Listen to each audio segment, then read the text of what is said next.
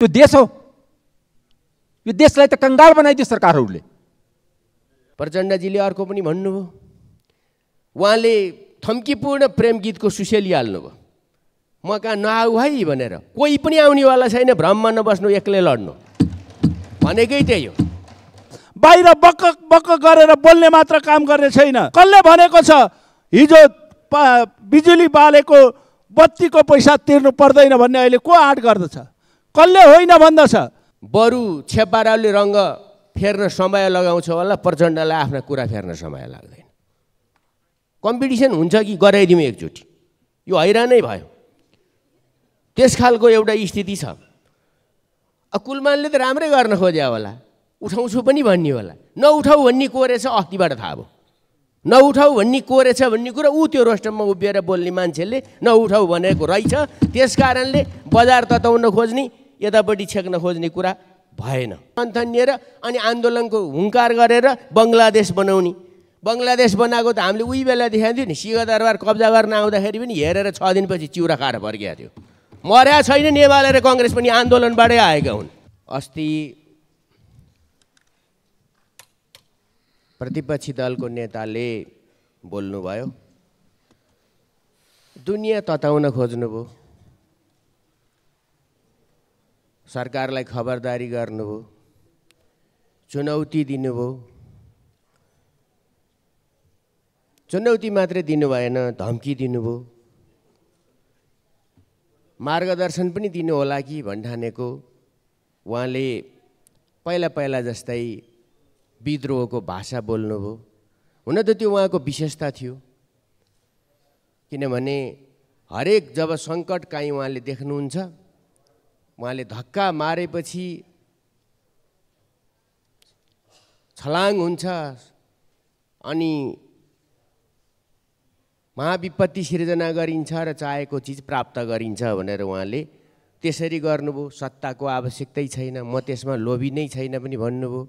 निरन्तर यस्ता केही कुराहरू गर्नुभयो र उहाँले अन्तिममा के भन्नुभयो भने लेखा समितिमाथि उसका काम कारवाहीहरूमाथि प्रश्न उठाउनुभयो। यस विषयमा केही आफ्ना कुरा राख्नै पर्नेछ। मलाई सोध्न मन लाग्छ उहाँ यो सरकार माफियाको संरक्षणमा बनेको सरकार हो भन्नुभयो। त्यसो हो भने एउटा कुरा गरौँ न त। उहाँले भनेको र हामीले भनेको कुरामा के भिन्नता भयो? लेखा समितिको को निष्कर्ष के हो भने बाइस अर्ब रुपियाँ महालेखा परीक्षकले बेरुजु देखाएको छ। त्यो पैसा उठ्नुपर्छ। हामीले भने त्यही हो। त्यो पैसा उठाउने जिम्मेवारी जसको छ त्यो पैसा किन उठेन भनेर हामीले भनेको हो। त्यो पैसा उठाउने जिम्मेवारी लिएकोले पनि उठाएको देखिँदैन।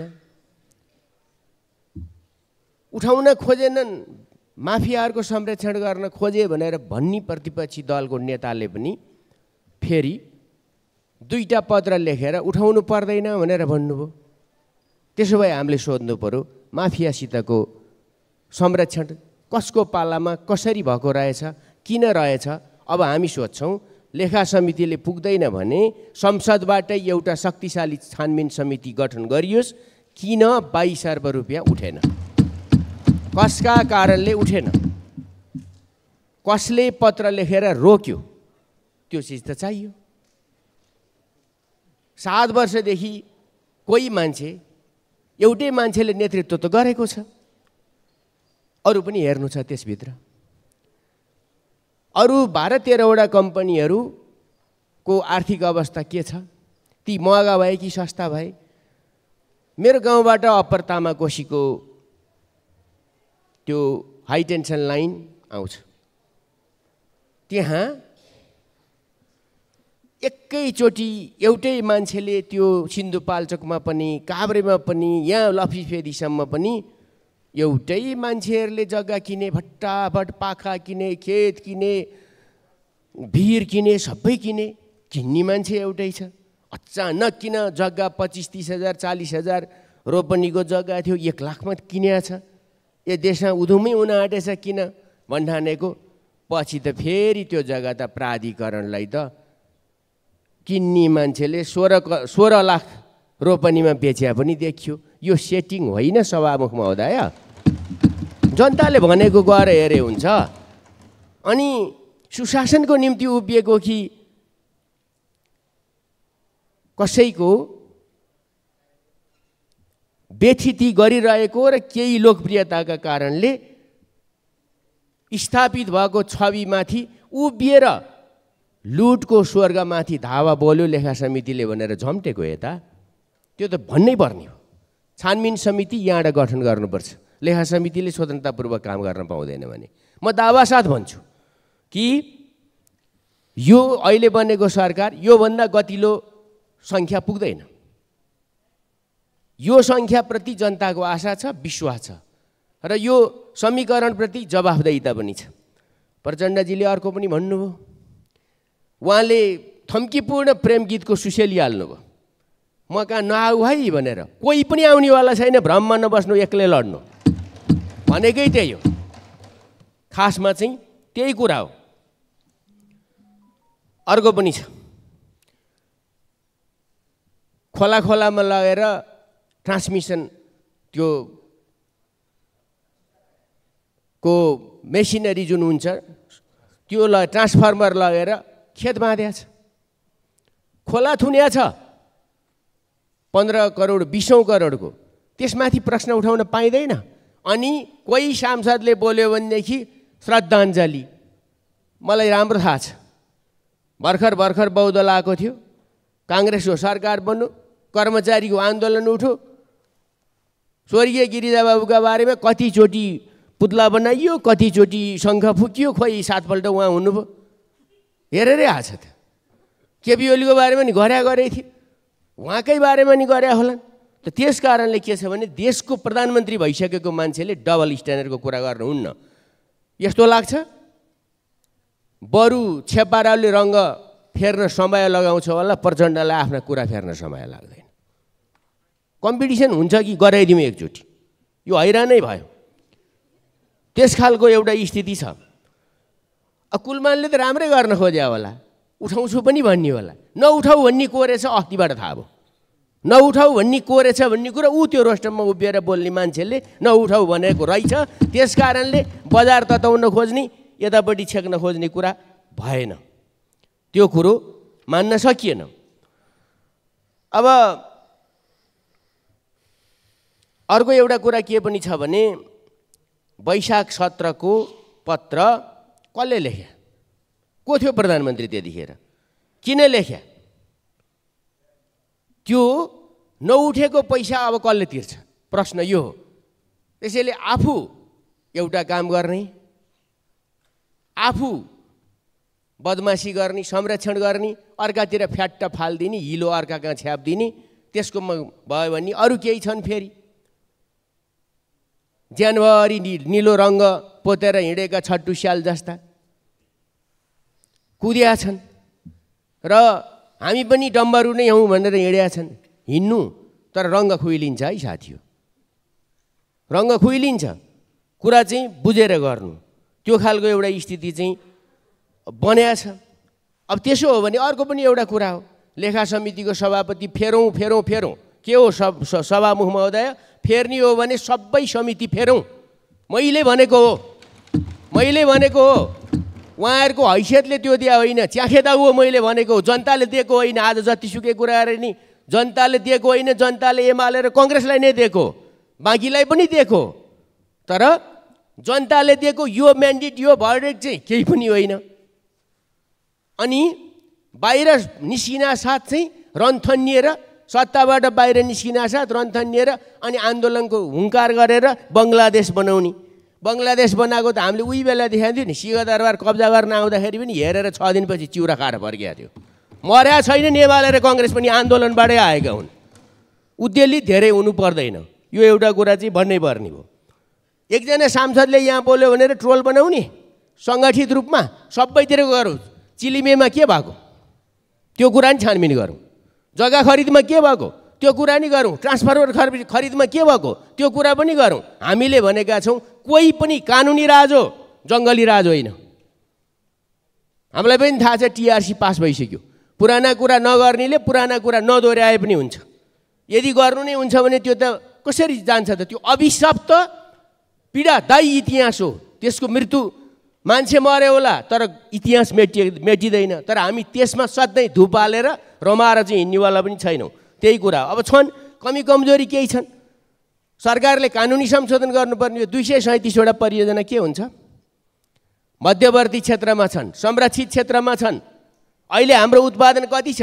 भारतसित लिएर आएको पनि कति छ? चौध करोड रुपियाँ नाफा छ जम्मा जम्बी। भारतसित बिजुली किन्दा र बेच्दाखेरिको। तर हामीले प्रशस्तै उत्पादन गर्नुपर्ने एउटा स्थिति पनि छ। अहिले सरकारले उत्पादन गरे कति? तिन हजार एकतिस सय चान्चुन मेगावाट बिजुलीमा सरकारले बाह्र सय बयालिस नै उत् उत्पादन गरेका छ। बाँकी निजी क्षेत्रको छ। त्यसमध्ये यो अहिले प्रक्रियामा रहेकाहरू चाहिँ झन्डै दस हजार छन्। दस हजार मेगावाट बिजुली छ। जसमध्ये थुप्रै योजनाहरू निर्माणाधीन पनि छन्। तर दुई सय सैँतिसवटा यस्ता योजना छन् जो समस्यामा पनि परेका छन्। त्यतातिर हामीले छलफल गरेका छौँ। कहाँ कहाँ पर्छन् ती? लाइसेन्स दिइसकिया छ। अनुमति पत्र दिइसकिया छ। तर हाम्रा कैयौँ वनका कानुनले संरक्षण क्षेत्रका कारणले निकुञ्जका कारणले अनेकौँ कारणले उनीहरू एउटा अन्यलग्रस्त अवस्थामा छन्। त्यसलाई हामीले सुधार गर्नुपर्ने अवस्थातिर हाम्रो ध्यान छैन। हामीले माया दुईवटा कुरा हो। जम्बा जम्बी विद्युत प्राधिकरणले पैसा नउठाउन खोज्या जस्तो लाग्दैन। पैसा उठाउन चाहिँ खोज्या छ। के चाहिँ पठाउँदैन भने विद्युत प्रयोग गरेको लोड प्रोफाइल डाटा चाहिँ पठाउँदैन। त्यो पठाउनु पऱ्यो पैसा बाइसै अर्ब उठाउनुपर्छ लेखा समितिको कुनै सदस्य एमाले होस् काङ्ग्रेस होस् कुनैले पनि त्यो पैसा उठाउनुपर्छ हुन्न भनेर बोलेको छैन। गलत भाष्य निर्माण गर्ने। समितिमा गुन्डागर्दी जस्तो कुरा गरेर यहाँ आएर धम्क्याएर सत्य एउटै हुन्छ। सत्य एउटै हुन्छ जसलाई तथ्यले समर्थन गर्नुपर्दछ। त्यसकारण हामीले भन्न चाहेको कुरा के हो भन्दाखेरि चाहिँ प्रधानमन्त्री यस्तो प्रधानमन्त्री उस्तो। आफू बस्दाखेरि कतिपल्ट बस्नुभयो यो सरकारमा? कुनै सरकार चाहिँ यस्तो? हिसाब गर्नुहोस् यो पन्ध्र वर्षमा दसपल्ट बस्नु भएको छ होला। यो बिचमा भएका सबै कुराको जस जसको जवाफदेही बोक्नुपर्छ। हो कि? त्यो कुरा बोक्न नसक्ने त्यतापट्टिको जवाफदेही नलिने अनि ढल्या भोलिपल्ट एउटा कुरा बन्या भोलिपल्ट अर्को कुरा गर्ने कुराले वास्तवमा राम्रो काम चाहिँ गर्न सक्दैन र यसले अनावश्यक खालको हामीलाई पनि भन्न मन छैन। किन भन्नु भनेर हामी आफ्नो काम गरिरहेका छौँ त्यसमा प्रश्न उठाएर हतोत्साहित गर्ने कुरा स्वीकार्य हुन्न। लेखा समितिले निर्वाह किन लेखा समितिको सभापति चाहिए रहेछ भने यतापट्टि प्रश्न सोध्यो भनेर रहेछ नि त। दिन्छौँ हामी तर सबै बदलिनुपर्छ। यही हो जनताले समय सकियो। धन्यवाद छ। अझै पनि एउटा एउटा चाहिँ मैले भन्नुपर्ने छ यो रोक्ने प्रचण्ड नै हो। यो नउठाउने प्रचण्ड नै हो। उहाँले लेखेको उहाँले जवाफ दिनुपर्छ उहाँलाई हामी स्पष्टीकरण सोध्छौँ। संसदले सोध्नु पर्दछ समितिले नि त्यही सोध्न चाहेको हो सभामुख महोदय। अरूमाथि हिलो छ्याप्नु हुन्न आउनुपर्छ त्यो कुरा। किन नदिएको किन पत्र लेखेको त्यो दुइटा नतिर नतिरे नै हुन्छ भनेर। त्यो चाहिँ चाहिन्छ।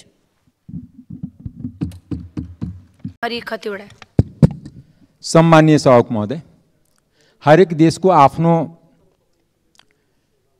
खासियत हुन्छ। हरेक देशमा कुनै देशमा पेट्रोलियम छ जस्तै गल्फ कन्ट्रीमा तेल बेचेर धनी भइरहेछ। कुनै देशमा सुनको खानी छ सुन बेचेर धनी भइरहेछ। हाम्रो देशमा जे छ त्यही बेच्नु पर्थ्यो र त्यसैमा उत्पादन बढाउनु पर्थ्यो। हाम्रो देशमा यत्रो व्यापार घाटा छ। कृषि र जडीबुटी या पर्यटन यिनीहरूलाई बढावा दिनुपर्ने त्यसमा खासै सरकारको ध्यान छैन। मैले के के कुरा इङ्गित गर्न चाहेको सभा महोदय सरकारको? कि आजको दिनमा गाँजाको मेडिसिनल भ्यालु धेरै छ।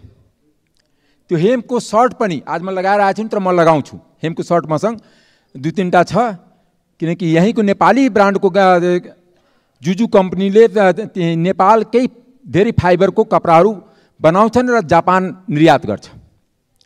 मैले व्यक्तिगत रूपमा चिन्दैन एउटा पवन जोशी सञ्चार माध्यम र सोसल मिडियामा भनिराखेको छ कि सरकारले हामी गाँजाको खेतीलाई लाइसेन्स दियो भने हामी सालको छ खरब राजस्व सरकारलाई दिन्छौँ। हामी आफ्नो देशको मान्छेमाथि किन विश्वास नगर्ने? यदि दिन्छ भने एकचोटि टेस्ट गरौँ न। बाहिरबाट गाँजाको तेल मगाउनु मिल्ने उसको उसबाट उत्पादन भएको मेडिसिन लगा मन इम्पोर्ट गर्न मिल्ने। तर आफ्नै देशमा एकातिर किसानले गाँजा फरानी गर्छ। उताबाट पुलिस लगाएर उसलाई किसानले गाँजाको खेती गर्छ र पुलिसले फरानी गर्छ। यो यो कहिलेसम्म हुने? एकातिर सरकारले जनकपुर चोरोड कारखानामा प्रदेशको भवन खडा गरिदियो। त्यस कारणले किसानले पहिला टो टोभएको खेती गर्थ्यो। मैले सुने पनि थिएँ यहाँ पनि धेरै मान्यजीले सुन्नुभयो होला सुर्ती विकास कम्पनी थियो। अब सुर्तीको खेती नभएपछि त्यहाँको सबै मान्छे अहिले मलेसिया कतार गइरहेछ। पैसा केबाट आउने? किनकि सुर्ती यस्तो ठाउँमा हुन्थ्यो कि जहाँ उसर जमिन छ जहाँ सिँचाइको सुविधा छैन त्यहाँ सुर्ती हुन्थ्यो। माथिल्लो माटोमा सुर्ती हुन्थ्यो मधेसमा किनकि त्यसको लागि पानी चाहिँदैन। धान जस्तै गहुँ जस्तै पानी चाहिँदैन। तर सुर्ती विकास कम्पनी पनि बन्द भयो जनकपुर चिरोट कारखाना पनि। त्यसमा त सरकारलाई गोल्ड मेडल नै दिनुपर्छ कि सरकार तमाम इन्डस्ट्रीलाई बन्द नेपालको जम्मै उत्पादनलाई बन्द गरिदिउँ किसानले दुधको उत्पादन गर्छ। सरकारले फलाक्दै हिँड्छ कि दसैँमा दिन्छु दसैँ मनाउने अथवा उधारोमा खसी किनेर राख या कपडा किनेर राख उधारोमा दसैँतिर दुधको उत्पा पैसा पाउँछ। किसानले गन्नाको उत्पादन गर्छ उखुको उत्पादन गर्छ। तर के सरकारले भन्छ पेमेन्ट गर्दैन। दसैँ तिहार आउन दि तिमीलाई यस्तो गर्छु। यो नगदी बालीको यस्तो अवस्था हाम्रो देशमा किन भयो? हाम्रो देशमा जडीबुटीको अपार सम्भावना छ। एकातिर आयुर्वेदको धेरै मेडिसिन हामी बाहिरबाट आयात गर्छौँ। तर आफ्नै देशको जडीबुटीलाई यहाँ प्रशोधन गर्ने त्यसबाट सम्बन्धित मेडिसिन बनाउने हामी खासै रुचि राख्दैन। त्यसमा सरकारको कुनै इनिसिएटिभ छैन। किनकि कृषिको वनको यो जम्मै जुन बजेट छ सबै बिचौलियाले खाने हो। एउटा दर्ता गर्ने संस्था दर्ता गर्ने एउटा एनजिओ दर्ता गर्ने एउटा सहकारी दर्ता गर्ने राज्यले लुट्ने। किसानले पाउँदैन। किनकि मैले चारचोटिको कार्यकालमा यही संसदमा देखिरहेको छु। मेरो क्षेत्रको एकजना किसान जो साँच्चै किसान हो जसको खेत छ जसले गहुँको खेती गर्छ गन्नाको खे उखुको खेती गर्छ त्यसले अनुदान पाएको मैले देखाएको छैन। अब सरकारले कहाँ अनुदान राख्छ? रानी पोखरीमा खनाउँछ कि? कि माउन्ट एभरेस्टमा राख्छ कि मान्छे जो आउँछ प्लेनबाट देख्छ कि यहाँ नेपालमा अनुदान कृषिको अनुदान छ। त्यस कारणले मैले के मार्फत अनुरोध गर्न गरेँ कि यो हेम्पको खेती गाँजाको खेतीलाई लिगलाइज गरौँ। यदि कुनै वैदेशिकले को हिसाबले भन्छ भने त्यसलाई भनौँ कि तिम्रो आफ्नो देशमा किन फलाउँछ? अरू देशमा लिगलाइज हो भने हाम्रो देशमा लिगलाइज किनकि नेपाललाई विदेशीको षड्यन्त्र कि नेपाललाई गरिबे बनाइराख्ने र त्यसमा नेताले ताल ताली बजाउनु उनीहरूको दलाली गरेर। यो यो स्वीकार हुँदैन। नेपालको कृषिको उत्पादन बढाउनु पर्छ नेपालको जलस्रोत बढाउनु पर्छ। ऊर्जा हेर्दा हेर्दा पचासौँ वर्ष ऊर्जाको इतिहास भयो आज अब पाँच हजार पनि मेगावाट नउत्पादन हुने। त्यो देश हो। यो देशलाई त कङ्गाल बनाइदियो सरकारहरूले। पाँच हजार मेगावाट नउत्पादन गर्ने भन्ने कि हामी त जलस्रोतको धनी देश हो। त्यस कारणले मैले कहाँ लग्न खोजेको भने ने लाइसेन्स दिनमा पनि अहिले विदेशीले लिन खोजिरहेछ गाँजाको लाइसेन्स। त्यो हुँदैन हामीलाई स्वीकार छैन। नेपाली जनतालाई स्वीकार हुँदैन गाँजाको लाइसेन्स कुनै विदेशी कम्पनीले दिनलाई। नेपाली गाँजाको लाइसेन्स यदि नेपालमा उत्पादन हुन्छ भने खेती हुन्छ भने नेपाली नागरिकलाई दिनुपर्छ धनी नेपाली नागरिक बन्नुपर्छ न कि नेपालको जडीबुटी। लगेर नेपालको गाँजा लगेर विदेशीले यहाँ धनी बन्ने काम नहोस्। जसरी जडीबुटीको सेक्टरमा भइरहेछ। हामी कहिले पतञ्जलीको नाममा दिइराखेका हुन्छौँ कहिले के को नाममा दिइरहेको छु तर नेपालीलाई दिँदैन। किनकि नेपालीले त घुस खुवाउँदैन खुवाए पनि हल्ला गरिदिन्छ। त भ्रष्टाचारमा डुबेको चुर्लुम सरकारहरू जम्मै विदेशीसँग चोजो पजो मिलाएर यहाँको भ्रष्टाचारको पैसा दुबईमा मलेसियामा सिङ्गापुरमा ब्याङ्ककमा राख्ने गरी ट्रान्सफर गर्ने विदेशीलाई जुन नेपालीको सबै हरेक कुरा जिम्मा लगाउने चिज छ त्यसमा हाम्रो आपत्ति छ। नेपालको सम्पत्ति नेपालको कृषि नेपालको उत्पादन नेपालीको हातमा हुनुपर्छ। तब मात्र देश सार्वभौम हुन्छ मात्र संविधानमा लेखेर सार्वभौम सम्पन्न देश हुँदैन। गरिबीको कुनै सार्व सम्पन्नता हुँदैन। म एक मिनटमा सकाउँदैछु साहुजी मेरोतिर हेर्दै हुनुहुन्छ। मैले बुझिसकेँ हजुर लाइन काट्न खोज्दै हुनुहुन्छ। मैले मात्र कि सार्वभौमता आर्थिक हुन्छ। गरिबको आफ्नो देश हुँदैन। गरिबको आफ्नो राष्ट्रियता हुँदैन। किनकि पापी पेटको सवालको कारणले मलेसिया कतार सौदी जानुपर्छ। त्यस कारणले मैले सभामुख मार्फत सरकारलाई अनुरोध गर्न चाहन्छु। हाम्रो युवालाई नेपालमा रोजगारी दिउँ नेपालमा कृषिलाई बढावा दिउँ। दुध र कृषिमा मुखो किसानको पेमेन्ट कुनै बिचौलियाको पेमेन्ट गर्नुभन्दा पहिला। सकियो।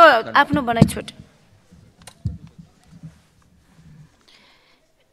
माननीय रामहरि खतिवडा समय आठ मिनट त्यसपछि माननीय पदम गिरी सभामुख महोदय केही दिनदेखि हामी संसदमा प्रतिपक्ष सत्तापक्ष ज्वारी जस्तो रूपमा प्रस्तुत भइरहेका छौँ। सम्मान्य पूर्व प्रधानमन्त्री पुष्पकमल दाहालले खबरदारी वक्तव्य मार्फत केही कुरा संसदलाई अवलोक अवगत गराउनु भयो उहाँले केही कुरा राख्नुभयो देश बङ्गलादेशको बाटोमा गएको छ देश श्रीलङ्काको बाटोमा गएको छ यो अवस्थाको जिम्मेवारी कसले लिनुपर्ने हो भनेर पनि अभिव्यक्ति आएको सुन्न पाइयो यो सरकार निर्माण भएको आज बयालिस दिन भएछ सभामुख महोदय। के यो सम्पूर्ण जिम्मेवारी बयालिस दिनले लिने हो कि दुई हजार बैसठी त्रिसठीदेखि लगातार अठार वर्ष सत्तामा बसेकामा पनि यसको जिम्मेवारी लिने साहस छ? यो क्वेसन्स म यो संसदबाट गर्न चाहन्छु सभामुख महोदय। आरोप प्रत्यारोपको राजनीति होइन। एउटाले सत्तामा बस्दा सबै राम्रै देख्ने प्रतिपक्षमा जाने बित्तिकै सबै नराम्रो देख्ने पद्धतिले मुलुकलाई हामी कहाँ पुर्याउँदैछौँ? रोस्टममा गएर गाली गर्दाको परिणाम संसदमा एकछिन ताली खाउँला एकछिन बाहिर हाहुई गरौँला त्यसको त्यसको परिणाम जनताका बिचमा हामीले हेर्नु जो के गऱ्यौँ भनेर जनताका बिचमा जाँदाखेरि त्यो क्वेसन्स जनताले गर्दा त्यसको जवाब हामी आफैले दिनुपर्छ सभामुख महोदय। हामी सरकारमा बस्दाखेरि गरेका काम हामीले के के हौँ भनेर प्रतिपक्षमा जाँदा सम्झिए मात्रै पुग्छ सभामुख महोदय धेरै ठुलो काम गर्नु पर्दैन। लगातार बैसठी त्रिसठीदेखि अहिलेसम्म सत्तामा बसिरहने केही दिन सत्ताबाट बाहिर जाने बित्तिकै तथा नाम एउटाले अर्कोलाई गाली गर्ने पद्धतिले संसदीय पद्धति दह्रो बलियो होइन संसदीय पद्धतिलाई कमजोर पार्ने काम गर्छ सभामुख महोदय त्यो बाटोतिर हामी जानु हुँदैन भनेर म अनुरोध गर्न चाहन्छु। हामीले कुरा राख्दा आफू मात्र सुरक्षित अरू सबै असुरक्षित जस्तो भानले कुरा राखेको पाइयो सभामुख महोदय। हामीले देखेका छौँ हिजोका घटना हामीले पनि सुनेका छौँ। आफू सत्तामा नहुने बित्तिकै देश बङ्गलादेश हुने आफू सत्तामा नहुने बित्तिकै हाम्रो देश श्रीलङ्का हुने आफू सत्तामा हुँदा सबभन्दा राम्रो स्वर्गको टुक्रा जस्तो मुलुक बन्ने प्रवृत्ति यो सरासर गलत छ र यो भाष्य गलत छ भनेर म अनुरोध गर्न चाहन्छु सभामुख महोदय हामीले मैले अघि पनि भने झन्डै दुई हजार त्रिसठी पछाडि जो अठार वर्षभन्दा बढी निरन्तर सत्तामा रहिरह्यो त्यसले अठार दिन बाइस दिन बयालिस दिन यो सत्ताभन्दा बाहिर जाँदा रोस्टमबाट सबभन्दा बढी रोस्टमबाट बाहिर बसेका जनता र संसदलाई गाली गर्छ र अरूलाई गाली गर्छ भने मुलुक कुन बाटोमा रहेछ हामी भनेर अहिले हामीले अलिकता बुझ्नुपर्ने अवस्था सिर्जना भएको छ। हामी उच्छृङ्खलताको राजनीति उडन्डताको राजनीति असहिष्णुताको राजनीति एउटाले अर्कोलाई गाली गर्ने राजनीतिमा अझै अवस्था भइसकेका छौँ जस्तो हामीलाई अनुभूति भएको छ। सत्तामा नहुने बित्तिकै हामीले अर्कालाई गाली नै गर्नुपर्ने अर्कालाई होच्याउनु नै पर्ने अर्काको छिट्टै काट्नुपर्ने यो प्रवृत्तिको आज अन्त्य हुने आवश्यक महसुस हामीले गरेका छौँ सभामुख महोदय। म दोष लाएर गाली गरेर अहिलेको संसदमा सबै कुरा कुनै प्रतिपक्षमा बसेका मित्रले मात्रै गरेका हुन्। सत्तामा आउने बित्तिकै जादुको छडीले सबै परिवर्तन भइहाल्छ भन्ने पक्षमा छुइनँ। तर अहिलेको सरकार बनेपछि सभामुख महोदय एउटा शुभ सङ्केत देखिएको छ। नेप्से परिसूचकमा मात्रै अहिले एउटा उत्साहको लहर आएको छ। एक महिनामा झन्डै चार अरबभन्दा बढी राजस्व इन्कम भएको छ त्यो संस्थाबाट मात्रै। यो एउटा शुभ सङ्केत हो। जनतामा एउटा राजनीति स्थिरता मात्र होइन आर्थिक उन्नतिको पनि सुरुवात भएको छ भन्ने सन्देश गएका बेला फेरि विभिन्न बाहनाका कुराहरू गरेर एउटाले अर्कोलाई दोष लाउने पद्धति गलत छ। अठार वर्ष सत्तामा बस्दा डेलिकेट लाइन र ट्रङ्क लाइनको बारेमा एक शब्द नबस् नबोल्ने कहिले बाइस अरब बन्ने कहिले सोह्र अरब बन्ने कहिले छ अरब बन्ने उठाउन चाहिँ केही गर्दै नजान्ने रोस्टमा गएर फेरि कराउने पद्धति जसुकैले गरेको यस्तो गलत छ भनेर म अनुरोध गर्न चाहन्छु सभामुख महोदय। कसले भनेको छ हिजो पा बिजुली बालेको बत्तीको पैसा तिर्नु पर्दैन भन्ने अहिले को आँट गर्दछ? कसले होइन भन्दछ? व्यापारीहरूले नेपाली जनता अन्धकारमा बसेका बेला प्रयोग गरेको बत्तीको पैसा तिर्नुपर्छ भनेर सबैले भनिरहेका छन् तर त्यो नाउँमा राजनीति गरेर हामी चाहिँ यसलाई तिर्न लाउँथ्यौँ अरूले मिना गर्न लाए भन्ने भाष्य सिर्जना गर्नु सरासर गलत हो। यो पैसा सरकारले लिनु पर्दछ तर लिने नाउँमा कसैलाई थर्काउने र तर्साउने मैले लिन खोजेको थिएँ अर्काले लिन चाहेन भन्ने प्रवृत्ति गलत छ भनेर अनुरोध गर्न चाहन्छु सभामुख महोदय। मैले धेरै कुरा गर्न चाहन्न। आज केही राजनीतिक दलका नेताहरूको मैले अभिव्यक्ति सुनेको छु। प्रजातन्त्रको दुहाई दिने नयाँ कुरा गर्ने साथीहरूको पनि हामीले कुरा सुनेका छौँ। आफ्नै पार्टीभित्र पार्टीमा बोल्ने बित्तिकै पार्टीका महामन्त्री जस्ता मान्छेलाई घोक्रे ठ्याक लाएर निकाल्ने अनि अरू पार्टीहरू प्रजातान्त्रिक भएनन् भनेर भाष्य सिर्जना गर्ने काम पनि यही भित्र भएको छ। सभामुख महोदय म अनुरोध गर्न चाहन्छु। हामी वाक स्वतन्त्रको पक्षमा छौँ कानुनी राज्यको पक्षमा छौँ कानुन स्वतन्त्रता पक्षमा छौँ। हामी कसैलाई दोष ईर्षा र प्रतिशोधको आधारमा कसैले कारवाही गर्नुपर्छ भन्ने पक्षमा छौँ हामी दोषको आधारमा गुणको आधारमा कानुनको आधारमा त्यसलाई कारवाही हुनुपर्छ भनेर छौँ। हामी कसैलाई आउने बित्तिकै तेरो फाइल खोल्छु भनेर तर्साउने पक्षमा जाँदैनौँ हामी कसैलाई तँलाई यो ठाउँमा ठेगान लाउँछु भनेर जाँदैनौँ कानुनले जे भन्छ कानुन अनुसार मुलुक चल्नुपर्छ संविधान अनुसार देश चल्नुपर्छ भन्ने भाष्यबाट सिर्जित भएका हामी राजनीतिक पार्टीहरू फेरि पनि अनुरोध गर्न चाहन्छु कसैलाई थर्काएर कसैलाई तर्साएर मुलुकमा राजनीति भाष्य आफ्नोतिर जानुपर्छ कानुन आफ्नो हातमा लिनुपर्छ भन्ने पक्षमा अहिलेको सत्तारूढ गठबन्धन छैन भनेर अनुरोध गर्न चाहन्छु सभामुख महोदय। मैले धेरै कुरा गर्न चाहिनँ। मुलुक अप्ठ्यारो परिस्थिति परेको बेला अहिले दुईवटा ठुला राजनीतिक दलहरू नेपाली काङ्ग्रेस र नेकपा एमाले मिलेर अहिले सरकार निर्माण गरेका छन्। जनतालाई विश्वास छ यसले राजनीति स्थिरता मात्र दिँदैन। राजनीति स्थिरता मात्र होइन आर्थिक उन्नतिका लागि नयाँ बाटाहरू यो सरकारले खोल्नेछ। जनताका हितका कुराहरू गर्नेछ बाहिर बक्क बक्क गरेर बोल्ने मात्र काम गर्ने छैन। बाहिर कराएर मात्र हिँड्ने छैन। अर्कालाई कानुन विपरीत तर्साउने र थर्काउने काममा यो सरकार लाग्दैन र कानुनी पक्षमा जनताको पक्षमा काम गर्छ भनेर तपाईँहरूलाई विश्वास दिलाउन चाहन्छु। फेरि पनि आज हामी कुनै पनि धङधङ्नीले तर्सिने बेला छैन। हामी सबैलाई थाहा छ हिजो सशस्त्र द्वन्द्वको समयमा बाह्र वर्ष सशस्त्र द्वन्द्व हुँदा मुलुक आर्थिक रूपमा मुलुक सामाजिक रूपमा धेरै रूपमा उन्नतिका रूपमा पछाडि परेकै हो त्यो कुरा नेकपा माओवादीले पनि सोचेको छ। नेपाली काङ्ग्रेस र एमाले पनि हामीले सोचेका छौँ। बाह्र वर्षको सशस्त्र द्वन्द्वबाट मुलुक विकास निर्माण मात्र होइन सामाजिक स्थिरता र आर्थिक उन्नतिका लागि धेरै पछाडि परेको कुरामा विवादै छैन।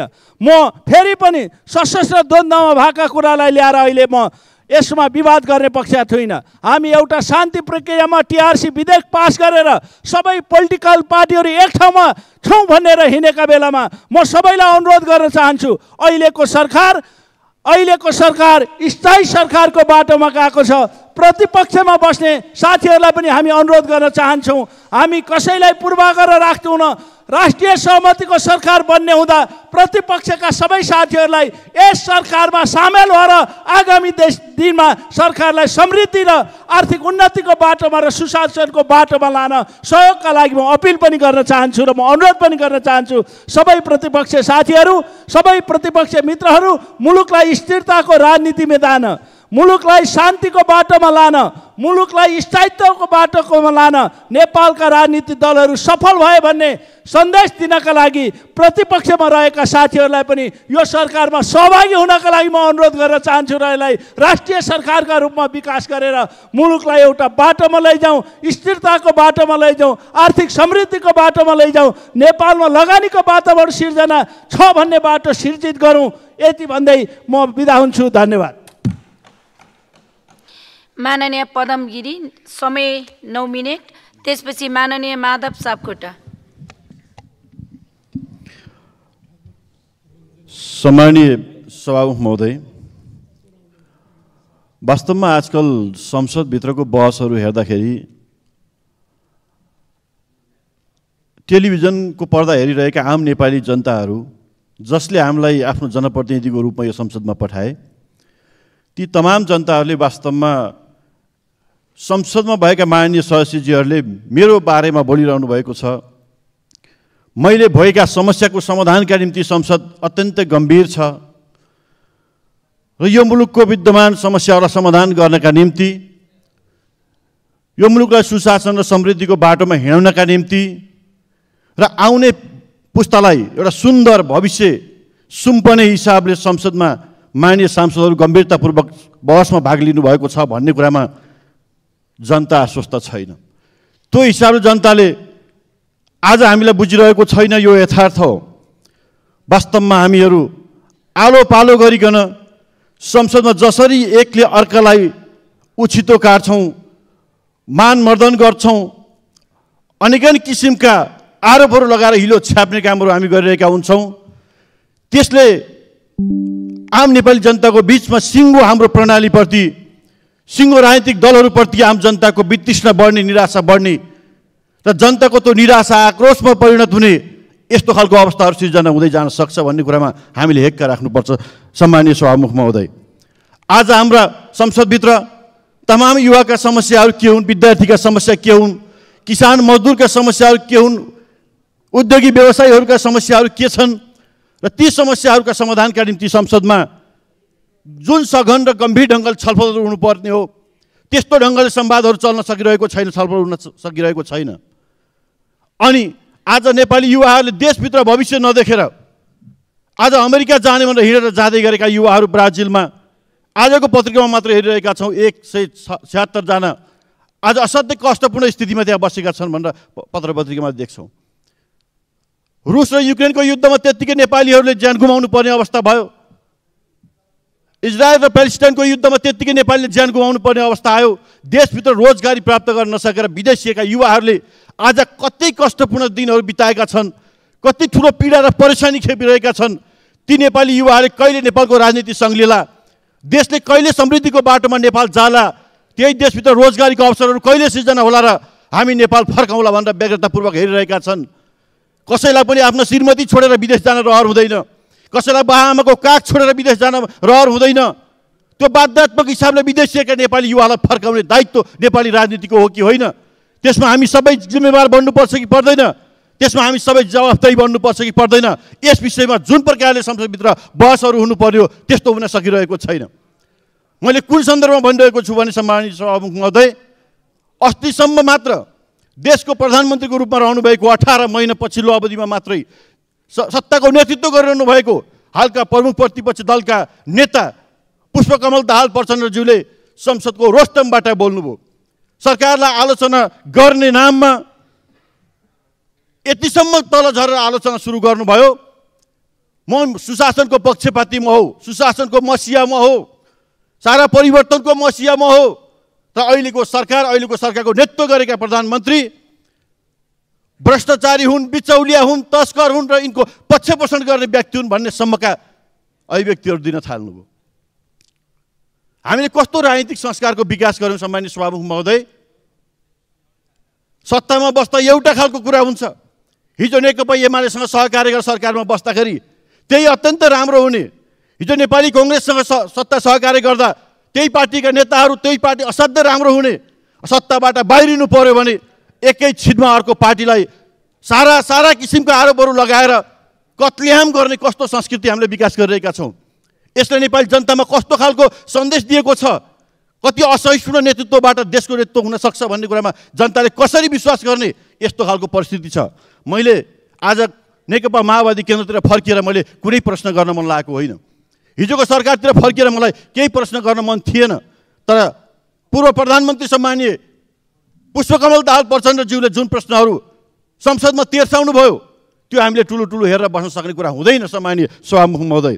म यति बेला भन्न चाहन्छु उहाँबाट सुशासनको पक्षमा छु।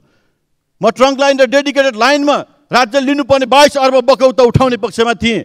अहिलेको सरकारले त्यो उठाउन दिएन भन्ने प्रकारले हिलो छ्याप्ने कोसिस गर्नुभयो। म उहाँलाई प्रश्न गर्न चाहन्छु तपाईँहरूले ऊर्जा मन्त्रालय सम्हालेको पछिल्लो आठ वर्ष निरन्तर तपाईँहरू ऊर्जा मन्त्रालय सम्हालेर बसिरहनु भएको छ। निरन्तर आठ वर्ष ऊर्जा मन्त्रालयको नेतृत्व गरिरहँदाखेरि किन आजसम्म तपाईँहरूले बकौता उठाउन चाहनु भएन? किन बकौता उठाउनुतिर लाग्नु भएन?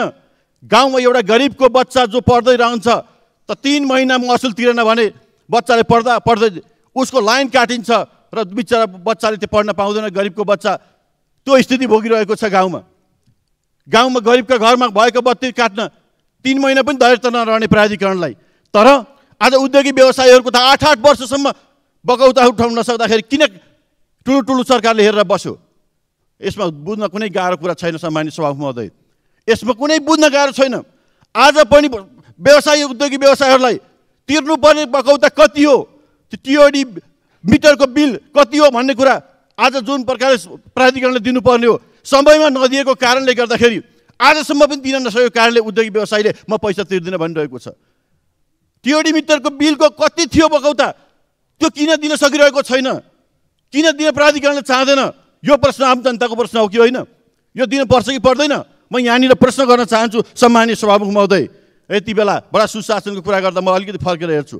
हामीले ललिता निवासको जग्गाकोमा त्यसका चाहिँ जग्गालाई राज्यका सम्पत्तिलाई व्यक्तिका नाममा पास गर्ने व्यक्तिका नाममा सुम्पने जस्ता खालको हरकत भए त्यस्ता मान्छेहरूलाई हामीले कारवाहीको दायरामा ल्यायौँ भनेर भन्नुभयो। म यति बेला प्रश्न गर्न चाहन्छु ललिता निवास जुन राज्यको सम्पत्ति हो राज्यको जमिन र व्यक्तिको नाम हस्तान्तरण गर्ने पूर्व प्रधानमन्त्रीहरू जसलाई सर्वोच्च अदालतले अनुसन्धानको दायरामा ल्याएर कारवाही अगाडि बढाऊ भनेर भन्यो।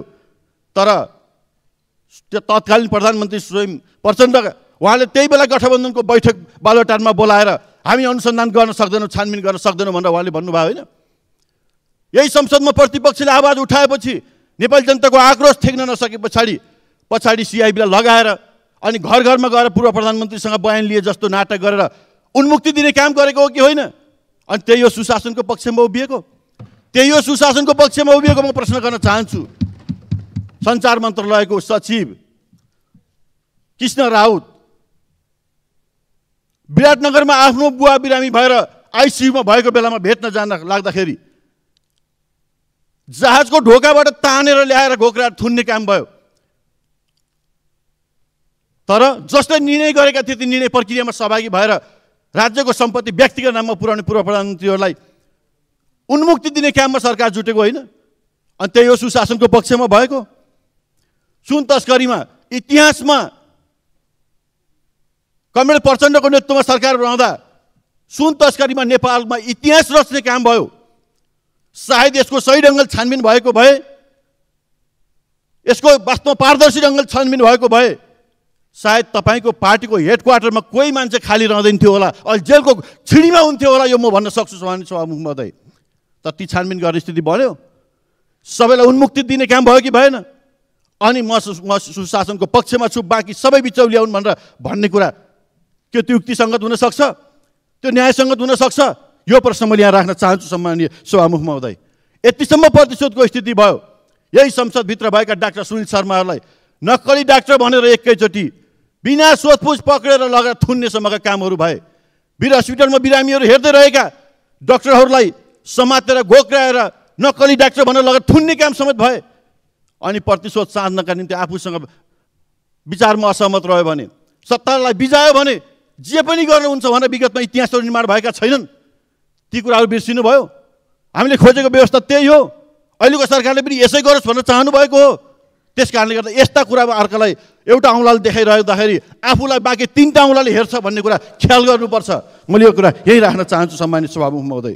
अहिले भनिरहनु भएको छ पुष्पकमल दाहाल प्रचण्डज्यूले यो अहिलेको नयाँ सरकार गठबन्धन सरकारले संविधान संशोधन गर्ने प्रक्रियामा अगाडि जाँदाखेरि अब सम्पूर्ण जनताको समानुपातिक समावेशीको व्यवस्था हटाउँदैछ। सम्पूर्ण नेपाली जनताको अधिकारलाई खोज्ने मनसायका साथ संविधान संशोधन हुँदैछ भनेर जनतामा पुरा व्यापक निराशाको डढेलो फैलाउने कोसिस उहाँले गरिरहनु भएको छ। जनतामा निराशा भएको बेला जनताले रोजगारी गुमाएको स्थितिमा जनता वास्तवमा एक प्रकारले प्रताडित भएको र निराश भएको अवस्थामा अनि त्यस्ता जनताको बिचमा गएर यस्ता अनर्गल प्रचारहरू गर्ने र अनि आक्रोशको अगुल्टो लिएर जनताको बिचमा जाने र मुलुकमा एउटा द्वन्द्वको स्थिति सिर्जना गराउने सारा राजनीतिक उपलब्धिहरूमाथि धावा बोल्नेसम्मका यस्ता खालका व्यवहारहरू जिम्मेवार नेताको तहबाट आउनु हुँदैन मानिस यसकारण सदस्य यसप्रति। जिम्मेवार नेताहरू स्वाभाविक जनताप्रति जवाफदेही भएर बोल्नुपर्छ र आफू सत्तामा हुँदा के गरेको थियो र प्रतिपक्षमा हुँदाखेरि अनि के भाषा प्रयोग गरिरहेको छु भन्ने कुरामा सजग बन्नुपर्छ भन्ने कुरा म राख्न चाहन्छु र सम्मान्य सभामुख महोदय अहिले हामीले शिक्षा स्वास्थ्य रोजगारीका क्षेत्रहरूमा आज जुन खालको हामीले छलफल र बहसहरू गर्नुपर्ने छ ती क्षेत्रलाई सुधार गर्नका निम्ति र जनतामा एउटा आशा र विश्वास जगाउनका लागि जुन खालका हामीले सार्थक प्रयासहरू गर्नुपर्ने छ त्यही कामहरूमा अब संसदलाई सम्पूर्ण रूपले केन्द्रित गरौँ र बहसहरूलाई अत्यन्तै सघन बनाएर लिएर जाउँ र एउटा संसदलाई एउटा विधेयक निर्माण गर्ने कानुन निर्माण गर्ने थलोको रूपमा यसलाई विकास गरेर लिएर जाने काममा हामीले सफलता हासिल गर्नुपर्छ। होइन भने जनतामा निराशा बढ्ने स्थिति बन्न सक्छ। यसतर्फ सजग सजग बनाऊ भन्ने कुरा भनाइसहित मेरो भनाइ अन्त्य गर्छु। हस् धन्यवाद। नमस्कार। माननीय माधव सापकोटा समय सात मिनट त्यसपछि माननीय निशा डाँगे।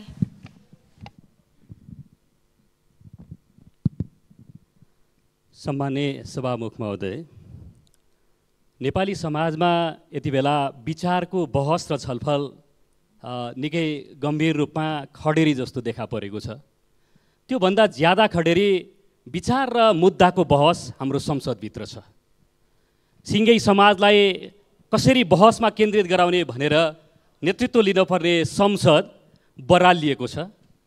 अहिले सत्तापक्षका मान्यजीहरूले सबैले राख्नुभयो। हामीले त के अपेक्षा गरेका थियौँ भने विपक्षी दलको नेताले राख्नुभएका प्रश्न किनभने विपक्षी दल भनेको यो संसदको र यो राज्य व्यवस्थाको वाचडक हो। त्यसले खबरदारी गर्छ ध्यान आकर्षण गराउँछ व्यथितिका विरुद्ध सङ्घर्ष गर्छ। ठिक त्यही गर्नुभएको हो विपक्षी दलको नेताले। तर प्रधानमन्त्रीले दिनुपर्ने जवाब भटाभट बाँडेर मान्यज्यूहरूले दिइराख्नु भएको छ त्यसका लागि पनि धन्यवादै छ। म मेरो हातमा कम्युनिस्ट पार्टीको एउटा घोषणापत्र छ। कम्युनिस्ट पार्टीको यो घोषणापत्रलाई नेपालीमा सबभन्दा पहिला नेकपाका संस्थापक पुष्पलाल श्रेष्ठले गर्नुभएको हो। यसको एउटा अंश यहाँ पढ्दा नै ज्यादा प्रभावकारी हुन्छ भन्ने मलाई लागेको छ। युरोपमा एउटा हाउ घुमिरहेको छ। साम्यवादको हाउ। यस हाउलाई धपाउन भनेर पोप र जार मेटाखिन र जि गिजोले फ्रेन्च उग्रवादी र जर्मन पुलिस अर्थात् पुरानो युरोपका सारा सत्ताधारीहरू एक भएका छन्। तथ्यबाट कुरा प्रष्ट हुन्छ युरोपका सारा सत्ताधारीहरूले साम्यवादलाई एक शक्ति मानिसकेका छन्। अब कम्युनिस्टहरूले सम्पूर्ण संसारको अगाडि आफ्ना विचारहरू आफ्ना उद्देश्यहरू आफ्ना प्रयासहरू खुलस्त बनाउनु परेको छ र साम्यवादको हाउ सम्बन्धी दन्त्य कथाको सत्तामा पार्टीको आफ्नो घोषणापत्र प्रस्तुत गर्नु परेको छ भनेर त्यसबेला यो कम्युनिस्ट पार्टीको घोषणापत्रमा उल्लेख गरिएको रहेछ। यो सन्दर्भमा मैले किन उल्लेख गरेको भने हाम्रो संसदमा हिंसाको हाउ आइराखेको छ। म हिंसाको हाउलाई प्रतिवाद गर्न चाहन्छु र धेरै मान्यजीहरूले भनेको पनि सुनियो कि हिंसा ठिकै हो संसदीय शब्द हो। सवाल के शब्द प्रयोग गरियो त्योसँग होइन। सवाल कुन नियतका साथ गरियो र त्यसको अभिप्राय के थियो भनेर हेरिनु पर्दछ। माननीय योगेश भट्टराईले जनयुद्ध र आन्दोलनलाई अपमान गर्ने खिसी ट्युरी गर्ने यो उद्देश्यका साथ ल्याउनुभयो। हामीले सवाल त्यसको प्रतिवाद गरेको हो। आन्दोलनलाई अवमूल्यन गर्ने अधिकार छैन। कमरेड योगेश भट्टराईलाई आफ्नो नेतृत्वलाई चाकडी गर्ने स्वतन्त्रता छ। जनयुद्धका बारेमा विरोध गर्नका निमित्त उहाँहरूका बैठक भेला प्रशिक्षण सबैतिर उहाँलाई स्वतन्त्रता छ। तर संविधानले नेपालको यो संविधानले के भन्दछ भने जनयुद्धलाई सशस्त्र सङ्घर्ष भन्छ। सङ्घर्ष भनेको त्यो वीरत्वको गाथा हो। सङ्घर्ष भनेको त्यो ओजपूर्ण हो। त्यसले कहीँ न कहीँ एउटा ओजको गरिमा बोकेको हुन्छ। त्यो कुरा हाम्रो संविधानले समेत स्वीकार गरेको छ र त्यसका एक दुईवटा केही तथ्यहरू म राख्न चाहन्छु। संविधानको भन्दा पहिला दुई हजार पचहत्तर साल जेठ तिन गते एकता सम्पन्न भएपछि सोही मितिमा आयोजित नेकपा केन्द्रीय समितिको प्रथम बैठकबाट पारित राजनीतिक प्रतिवेदनको बुदा नम्बर आठ पोइन्ट दुई कम्युनिस्ट आन्दोलनका गौरवशाली अडसट्ठी वर्षहरू भन्ने शीर्षकमा भूपृष्ठ पैँतिसमा दोस्रो हरफमा के कुरा लेखिएको छ भने नेपालको ठोस परिस्थितिमा राजनीतिक र फौजी रणनीतिको विशिष्ट सन्तुलन कायम गर्दै कमरेड प्रचण्ड नेतृत्वमा नेकपा माओवादीले दुई हजार बाहन्न साल फागुन एक गतेदेखि जनयुद्धको पहल गर्यो। त्याग र बलिदानका कीर्तिमान कायम गर्दै माओवादी जनयुद्धले नेपाली राजनीतिमा नयाँ तरङ्ग र बहससहित दुर्गामी प्रभाव पार्यो भनेर नेकपाको राजनीतिक प्रतिवेदनमा यो कुरा लेखिएको छ। यसमा कमरेड केपी ओली र कमरेड प्रचण्डले हस्ताक्षर गर्नुभएको छ र कमरेड योगेश भट्टराई पनि यही केन्द्रीय समितिमा हुनुहुन्थ्यो म पनि त्यही केन्द्रीय समितिमा थिएँ यो दस्तावेजलाई त्यसबेला नेकपा हुँदा स्वीकार गरिने। त्यसकारण म दोहोऱ्याएर भन्न चाहन्छु सवाल शब्द के हो छोडिदिउँ। सवाल कुन नियत र उद्देश्यका साथ भनियो भनेर म फेरि दोहोऱ्याएर भन्न चाहन्छु आफ्नो नेतालाई चाकडी गर्नका लागि माननीयजी स्वतन्त्र हुनुहुन्छ तर यति गरिमामय आन्दोलनलाई होच्याउनका निमित्त अवमूल्यन गर्नका निमित्त उहाँ स्वतन्त्र हुनुहुन्न उहाँका पार्टीहरूमा गर्नुहोस्। किनभने संविधानमा अर्को कुरा के छ भने संविधानको धारा बयालिसमा अर्को एउटा कुरा छ म त्यो पनि वाचन गर्ने अनुमति चाहन्छु। नेपालमा अग्रगामी लोकतान्त्रिक परिवर्तनका लागि भएका सबै जनआन्दोलन सशस्त्र सङ्घर्ष र क्रान्तिका क्रममा जीवन उत्सर्ग गर्ने शहीदका परिवार बेपत्ता पारिएका व्यक्तिका परिवार लोकतन्त्रका योद्धा द्वन्द्व पीडित विस्थापित अपाङ्गता भएका व्यक्ति घाइते तथा पीडितलाई न्याय एवं उचित सम्मानसहित शिक्षा स्वास्थ्य रोजगारी आवास र सामाजिक सुरक्षामा कानुन बमोजिम प्राथमिकताका साथ अवसर पाउने हक हुनेछ भनेर लेखिएको छ। प्रस्तावनाको दुई नम्बर दुईवटा के अरे दोस्रो हरफमा लेखेको कुरा त मैले पढ्नै पर्दैन। त्यसैले संवैधानिक रूपमा जे परिकल्पना गरिएको छ अधिकारमा जे स्पष्ट राखिएको छ यसलाई अवमूल्यन नगरियोस् भनेर हामीले आवाज उठाएको। यसलाई कुनै सवाल जवाफको कुरा होइन। अरू सबै कुरा सहन्छ मान्छेले आफ्नो अस्मितामाथि आफ्नो स्वतन्त्रतामाथि हमला गरेपछि प्रतिकार गर्छ विद्रोह गर्छ। हामीले मार्क्सवादबाट पढेको कुरा यही हो। त्यसैले म फेरि भन्न चाहन्छु हिंसाको हाउ हाम्रो संसदमा जे छ त्यसलाई अन्त्य गरिनुपर्छ। एकपटक म अलिकति हिंसाका बारेमा महात्मा गान्धीले भनेका कुरा पनि राख्न चाहन्छु। सिद्धान्त बिनाको राजनीति श्रम बिनाको सम्पत्ति चरित्र बिनाको ज्ञान मानवता बिनाको विज्ञान नैतिकता बिनाको व्यापार विवेक बिनाको आनन्द र त्याग बिनाको धर्म यी संसारका हिंसा निना निम्ताउने सात महाभूलहरू हुन् भनेर महात्मा गान्धीले आफ्नो पुस्तकमा लेख्नु भएको रहेछ। त्यसैले म फेरि एकपल्ट भन्न चाहन्छु क्रोधले भ्रम पैदा गर्छ भ्रमले बुद्धि बेग्र हुन्छ जब बुद्धि बेग्र हुन्छ तब तर्क नष्ट हुन्छ जब तर्कहरू नष्ट हुन्छन् तब पतनको सुरुवात हुन्छ। म फेरि एकपटक गम्भीरतापूर्वक आफ्नो पतनको यात्रालाई रोक्न र यो बह यो संसदभित्र वैचारिक र मुद्दाहरू केन्द्रित भएर बहस गर्नका निमित्त अपिल गर्न चाहन्छु। र यति कुरा राखिसकेपछि यहाँ केही कुराहरू पनि उठ्यो। विपक्षी दलको नेताले यो गर्नुभयो त्यो गर्नुभयो भनेर म फेरि भन्छु विपक्षी भनेको वाच डक हो उसले आफ्नो ड्युटी पुरा गर्छ। आलोचना सुन्ने विरोध सुन्ने धैर्यता राख्नुहोस्। तपाईँहरूले गल्ती गर्नुभएको छ सिधा सिधा प्राधिकरणका दुईजना सञ्चालकले यसो गर्नु हुँदैन बकैता उठाउनुपर्छ भन्दा अपदस्थ गरेको होइन। त्यो महान कार्य हो भनेर आई लभ यु केपी बा भनिदिनु पर्ने हामीले आइएम विथ केपी ओली भनिदिनु पर्ने हामीले। त्यो अपेक्षा गरेको हो भने नगर्नुहोस् हामी त्यसो गर्न सक्दैनौँ। सरी पनि भन्छौँ तपाईँहरूलाई। त्यसैले म फेरि पनि भन्न चाहन्छु प्रतिपक्षले योभन्दा ज्यादा सशक्त सङ्घर्ष गर्छ यो संसदभित्र त्यसका लागि मानसिक रूपमा सरकार पक्ष सत्ता पक्ष तयार रहिदिनु पर्यो। संविधान संशोधनका कुराहरू पनि छन्। संविधान गतिशील दस्तावेज हो यो धर्मशास्त्र होइन हामीले मानेकै छौँ म स्पष्ट पार्न चाहन्छु। तर संविधान संशोधन अग्रगमनतिर हुनुपर्छ प्रतिगमनतिर होइन। दोहोऱ्याएर ठुलो आवाजमा भन्न चाहन्छु संविधान गतिशील दस्तावेज हो यो परिवर्तनशील छ तर प्रतिगमनतिर होइन अग्रगमनतिर। हामीले यही भनिराखेका थियौँ। आजै नेकपा एमालेका मान्य सांसद किरणजीले भन्नुभयो संविधानको धारा चारको मर्म विपरीत उहाँहरूले धर्मनिरपेक्षता खारेज गर्ने प्रस्ताव गर्नुभयो। यो गम्भीर विषय हो। यो झट्ट हेर्दा सामान्य जस्तो लाग्छ। दुई ठुला पार्टी मिलेर संविधान संशोधनको कुरा गर्नु र नेकपा एमाले प्रधानमन्त्रीकै पार्टीको सांसदले धर्मनिरपेक्षतालाई खारेज गर्ने उद्देश्यका। साथ जे अभिव्यक्ति दिनुभएको छ यो गम्भीर विषय हो र सम्माननीय सभामुख मार्फत यो संसदमा र नेपाली जनतालाई म एकचोटि राम्रोसँग सुन्ने गरिकन भन्न चाहन्छु र अन्तिममा म फेरि पनि भन्न चाहन्छु कि संसदलाई जिम्मेवार बनाऊ तर्कपूर्ण ढङ्गबाट एजेन्डा केन्द्रित छलफल गरौँ। हामी त्यसमा तयारै छौँ हामीले राखिराखेकै पनि छौँ। तर असहिष्णु हुने तर्क सकिएर पतनतिर जाने तर फेरि गर्ने तरिकाले। हुँदैन। म गम्भीरतापूर्वक भन्न चाहन्छु कि तर्कहरूद्वारा आफ्ना विषयहरूलाई स्पष्ट रूपमा राख्नका लागि मेहनत गरौँ। समयका लागि धन्यवाद लाल सलाम। माननीय निशा डाँगी समय पाँच मिनट। त्यसपछि माननीय सञ्जय कुमार गौतम। उपमहानगरपालिकाले श्री शान्ति सृजना माध्यमिक विद्यालयलाई सात लाख छत्तिस हजार छ सय त्रिसठी रुपियाँ उपलब्ध गराउनुपर्ने थियो। तर विद्यालयको खातामा अठासी लाख चौबिस हजार दुई सय त्रिचालिस रुपियाँ भुक्तान भयो।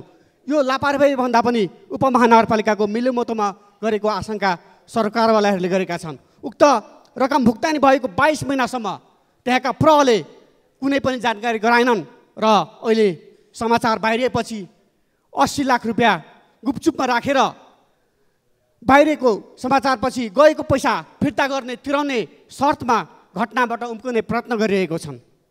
सभामुख महोदय हुन त हाम्रो अदालतबाट दोषी ठहर भएको व्यक्तिको पनि ठुलो शालिग बनाएर मलाई लगाइन्छ यहाँ स्काउटको जग्गा हटपर्नेलाई बालमन्त्रीको जग्गा घोटाला गर्नेलाई र नेपाली नागरिकलाई भुटानी शरणार्थी बनाउनलाई पनि मन्त्री बनाएर पुरस्कृत गरिन्छ।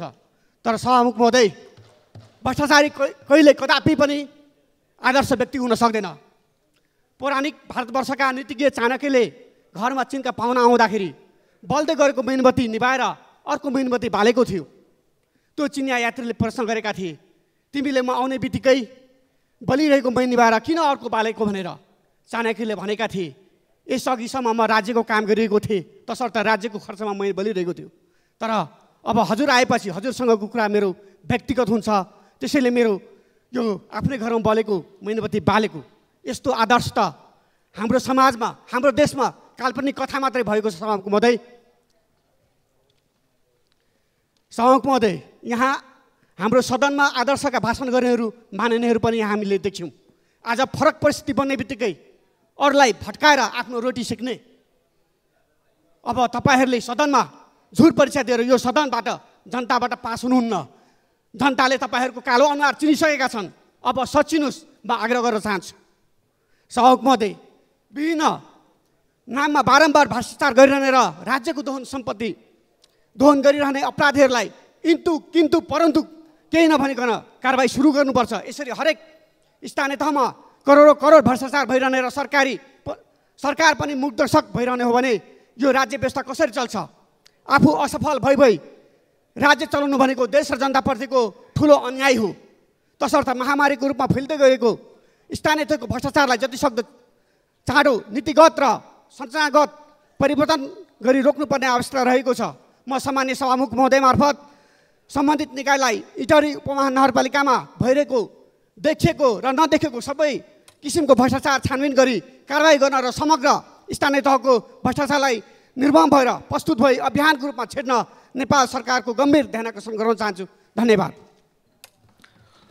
माननीय सदस्य देवेन्द्र पौडेल समय सात मिनट। सम्माननीय त्यसपछि मान्य सदस्य अशोक कुमार चौधरीको। सम्माननीय सभामुख महोदय विषय राख्ने अनुमति दिनुभएकोमा म आभार व्यक्त गर्न चाहन्छु। नेपाल विद्युत प्राधिकरणले दुई सय उन्चालिस औद्योगिक र व्यापारिक गैर व्यापारिक ग्राहकलाई प्रिमियम शुल्क तिर्ने गरी डेडिकेटेड र ट्रङ्क लाइन मार्फत दैनिक बिस घन्टासम्म बढी विद्युत सुविधा दिएको थियो। सम्माननीय सभामुख महोदय इफ बट इन्टु परन्तु केही पनि चाहिएको छैन। एक सय अठहत्तरले महसुल बुझाइसकेका छन्। सम्माननीय सभामुख महोदय रेकर्ड ल्याएर हेर्नुहोला। बाँकी एकसट्ठी उद्योगहरूले बकौता बुझाउन बाँकी छ। मान्यजीहरूको ध्यान आकर्षणमा गराउन चाहन्छु। र मैले फेरि पनि इफ बट किन्तु परन्तु केही नभनिकन एकसट्ठी उद्योग उद्योगपतिको विरोध गरेको हामीले होइन। एकसट्ठीवटा उद्योगहरूको बकौता तिर्नुपर्छ। पूर्व प्रधानमन्त्रीले केही कुरा नतिर्नको निम्ति भन्नुभएको छ भनेदेखि छाती खोलेर बहस गर्न म पनि तयार छु हामी पनि तयार छौँ। सम्माननीय सभामुखज्यू किनभनेदेखि मैले डेटा पेस गर्न चाहन्छु आजभन्दा आठ वर्ष पहिले सम्माननीय सभामुख महोदय हिउँदमा नौ घन्टा के अरे हिउँदमा अठार घन्टा बर्खामा नौ घन्टा लोड सेडिङमा थियौँ। विद्युत प्राधिकरणले आजको अहिलेको चाहिँ डेटा हेर्नुभयो भने दैनिक तेह्र करोड एघार लाखको विद्युत निर्यात गरेको छ। लोड सेडिङ अन्तको घोषणा गरेको छ होला। कुनै दूर दराजमा पुग्न बाँकी रहेको होला। यसैमाथि आज पनि टोकेको छ भोलि पनि टोकेको छ पर्सि पनि टोकेको छ। के गर्न खोज्नुभयो हो? म भन्न चाहन्छु ध्यान नेपाल वायु सेवा निगमतिर जाओस्। चारवटा जहाज ग्राउन्डेड भइसकेका छन्। आठ हजार आठ सय यात्रीहरू अल्पत्ता परेका छन्। मान्यजीहरू यतापट्टि तपाईँहरूको ध्यान दिएर सरकारलाई ध्यान आकर्षण गराउनु होला दूरसञ्चार radio Nepal Nepal television oil निगम त्रिभुवन विश्वविद्यालयका अस्तिका झमेलाहरू सुधार्नको निम्ति सम्माननीय प्रधानमन्त्रीलाई तपाईँले सुझाव दिनुहोस् एउटा संस्थाले केही राम्रो काम गर्यो भने अनि त्यसैमाथि फर्किएको छ कुराकानी गरेको छ के गर्न खोज्नुभएको त्यसो भएर केही नगरिकन बगौता उठाउनुको निम्ति म सम्माननीय सभामुख महोदय मार्फत म हार्दिक अनुरोध गर्न चाहन्छु सम्माननीय सभामुख महोदय यो प्रसङ्ग अर्कै थियो आज पनि मान्यले केही कुरो राख्नुभयो दुई हजार त्रिसठी वैशाख एघार गते प्रतिनिधि सभा पुनस्थापना भएको थियो। सम्माननीय सभाको मध्य त्रिसठी दुई हजार त्रिसठी माघ एकमा अन्तरिम संविधानको घोषणा भएको थियो। अन्तरिम संविधानको घोषणा हुँदा वृहत शान्ति सम्झौतामा हस्ताक्षर हुँदा सात दल र माओवादी बिचको सहमति हुँदा नेपालको संविधान घोषणा हुँदा दुई हजार बहत्तरमा अस्ति हिजो मात्रै चाहिँ मैले समाचार हेरेँ सम्माननीय सभामुख ज्यूले बेपत्ता छानबिन तथा सत्य निर्माण सम्बन्धी ऐन पनि हस्ताक्षर अगाडि अगाडि बढाउनु भएको छ। त्यो हुँदा कुनै बेला नेकपा पनि बनेका थियौँ हामी। त्यो हुँदा हिंसा भन्ने शब्द लेखिएको थियो। म प्रश्न गर्न चाहन्छु सम्मानीय सभामुख महोदय हिंसा भन्ने कहीँ पनि लेखिएको थिएन। कि त नेकपा एमालेका मान्यजीहरू तपाईँहरू मित्र हुनुहुन्छ? यो फिर्ता लिएको सिग्नेचर सुकेको छैन? फिर्ता लिएको तपाईँहरूले घोषणा गर्नुहोस् होइन भनेदेखि शान्ति प्रक्रियालाई अगाडि बढाउनको निम्ति। तपाईँहरूको पनि हात छ तपाईँहरूले पनि अन्टसन्ट शब्द बोलेर अगाडि बढ्ने कुरा। हाम्रो अहिलेको प्रचलित कानुनले स्वीकृति दिँदैन सम्मानित सभामुख महोदय आन्दोलन भएको थियो। सात सालमा आन्दोलन भएको थियो। लखन थापा शहीद हुनुभयो हामीले शहीद मानेका छौँ सम्माननीय सभामुख महोदय पञ्चायत विरोधी आन्दोलन भएको थियो। सम्माननीय सभामुखज्यू तपाईँकै जिल्लाका बाट जेल सरुवा गर्दाखेरि वीरेन्द्र र कृष्ण कुइकल लगायतकाले शहादत प्राप्त गर्नुभएको थियो। हामीले सम्मान गरेका छौँ। सम्माननीय सभामुख महोदय न्यायको निम्ति लडिएका आन्दोलन थिए भनेर हामीले सम्मान गरेका थियौँ। तर आज दुःखका साथ भन्नुपर्छ। ऐतिहासिक जनयुद्ध जुन जनयुद्धमा दिलबहादुर रम्तेलले आँगनमा स्कुलको आँगनमा रगत बगाए कसका छोराछोरी थिए? सम्माननीय सभाको महोदय कृष्णसेन इच्छुक कविता पढ्नु होला मान्यज्यूहरू उहाँ कविता लेख्ने हुनुहुन्थ्यो। उहाँलाई हत्या गरियो। उहाँ को हुनुहुन्थ्यो? एकजना एउटा जिल्लाको आमा हुनुहुन्थ्यो। उहाँ आमाले चारजना आफ्ना सन्तानहरू बलिदान गरेर अन्तिममा के भन्नुभयो भने मैले पोस्टर हेर्ने बाबु मृत्यु अथवा मुक्ति भन्ने लेखिएको रहेछ। म तपाईँहरूसँगै हिँड्छु। बाँचे भने मुक्ति मरे भने मृत्यु भनेर सँगै हिँडेर उहाँले पछि उहाँले पनि साधत प्राप्त गर्नुभयो। मैले यो दृष्टान्त किन सुनाउन चाहेको भने सम्माननीय सभामुख महोदय अनमिनको रेकर्ड हाम्रो शान्ति मन्त्रालय अहिले छैन। शान्ति मन्त्रालयले राखेको रेकर्ड हाम्रा मन्त्रालयमा यदि छैन भने अनमिनको रेकर्डमा आएर मान्यजीहरूलाई सम्माननीय सभामुखले दिनुहोला। अनमिनले प्रमाणित गरेका र बाहिर निकालिएका छोराछोरीहरू कसका छोराछोरी थिए? जनताका छोराछोरी थिए कि थिएनन्? जनताका छोराछोरीले लडेको युद्ध हो कि होइन? त्यसो भएर बेला बखत चाहिँ हामी यत्र आन्दोलनबाट सँगै आइसकेपछि मैले कसैलाई पनि उपदेश दिन खोजेको होइन सम्मानीय सभामुखमध्ये छाती ठुलो बनाउनको निम्ति अनुरोध गर्न खोजेको। हामी सँगै यात्रा गरेर अगाडि बढेका हौँ। मान्यज्यूहरू यहाँ हुनुहुन्छ। सडकमा तपाईँहरू हुँदा सडकमा थियौँ जेलमा हुँदा हामी जेलमा थियौँ। सबै अनुभूति हामीसित पनि छ। त्यसो भएको हुँदाखेरि शब्दहरू प्रयोग गर्दाखेरि ख्याल गरेर प्रयोग गर्नुको निम्ति म अनुरोध गर्न चाहन्छु। अनुरोध गर्न चाहन्छु। अनुरोध स्वीकार्ने नस्वीकार्ने कुरा यहाँको कुरा हो। र अहिले भर्खरै मान्यले कुरो राख्नुभयो हिसाब हामीलाई पनि छ। यो हिसाब मैले आज संयोगले यहाँ सुनाउन चाहेँ। दुई हजार सत्तालिसपछि छ हजार तिन सय छ्यालिस दिन सत्र वर्ष एक्लै पाँच वर्ष अरूसँग मिलेर नेपाली काङ्ग्रेस बाइस वर्ष सरकारमा बस्नुभएको रहेछ। गगनजी यो रेकर्ड हो। तलमाथि रहेछ भनेदेखि मलाई सच्याउन मद्दत दिनुहोला। दुई हजार सत्तालिसपछि दुई हजार छ सय चौन्न दिन झन्डै सात वर्षभन्दा बढी एक्लै सोह्र वर्ष अरूसँग मिलेर एमाले सरकार चलाएको रहेछ। यो हिसाब रेकर्ड लिएर बसेको प्रतिपक्ष हो। दुई हजार सत्तालिसपछि चार वर्ष आठ महिना अरूसँग गर्दा नौ वर्ष माओवादी पनि सरकारमा छ। को कोले के के गरौँ? रेकर्ड लिएर हामी बसेका छौँ। हामी पनि यही राजनीतिमा यही प्रणालीमा यही प्रक्रियामा कुरो बुझेर बसेका छौँ। हामी बहस गर्न तयार छौँ। तर हामी के भन्न चाहन्छौँ भनेदेखि अहिले उठेका कतिपय प्रश्नहरूलाई विगतका आला घाउहरू कोट्याउनेतिर फर्काउनुको निम्ति मान्यजीहरूले परिस्थितिलाई उत्तेजित नबनाउनु हुनुको निम्ति म अनुरोध गर्न चाहन्छु। जनयुद्ध जनयुद्ध नै थियो जनआन्दोलन जनआन्दोलन थियो। मधेस र थरुहट र अरू न्यायपूर्ण जनताले चलाएका आन्दोलनलाई म आज पनि भन्न चाहन्छु। सेल्युट छ ती आन्दोलनहरूलाई। ती आन्दोलनका कारणले यो सदन बनेको। हजार वर्षसम्म पनि नेपालमा र संसारभरिमै कुनै पनि एउटा विज्ञले इतिहास लेख्यो भने जनताले चलाएको आन्दोलनलाई जनयुद्ध भनेर लेख्ने छ यहाँहरूले यो शब्द कन्जुसाइ किन गर्नु परेको? किन गर्नु परेको यो शब्द? इतिहास त हामीलाई पनि जानकारी छ नि। त्यस कारणले सम्माननीय सभामुख महोदय यस प्रकारका कटाक्षभन्दा माथि उठेर टुणीखेलमा गिरफ्तार भएका युवाहरूले कुनै अपराध गरेका छैनन्। नेपाली कङ्ग्रेसको गृहमन्त्री हुन्छ शालीन व्यक्तित्व गोपीकृष्ण दिपक र रामबहादुरले कसैलाई हात हालेका छैनन् कसैमाथि हमला गरेका छैनन् कसैको बारेमा नारा लगाए। यति हो। भिडियो फुटेज हेरियोस्। गिरफ्तार नगरियोस् त्यसका आधारमा रिहा गरियोस्। जनताले लडेर ल्याएको यो व्यवस्थालाई जनताले प्रयोग गर्न पाउने नैतिक र नैसर्गिक अधिकार जनतामा अन्तर्निहित छ। जनता नै सार्वभौम हुन् अरू विषयमा हामी छलफल गरौँला र यो खास गरी यो मान्य सदस्य यहाँको म एउटा मात्रै कुरा भन्छु मान्य सम्माननीय सभामुखज्यू अहिले कानुन बनाउने गल्ती गरेका मान्छेलाई पाँच वर्षपछि चाहिँ सजाय दिने। यो के ल्याएको यस्तो? मान्यजीहरूको म ध्यान आकर्षण गर्न चाहन्छु। सम्माननीय सभामुख महोदय यो मिल्दैन। संसारले मान्दैन यस्ता कुरा। यस प्रकारका कुराहरूलाई सच्याउनको निम्ति र फिर्ता बोलाउनको निम्ति पनि म अनुरोध गर्दै मेरा भनाइहरू अन्त गर्न चाहन्छु। धन्यवाद।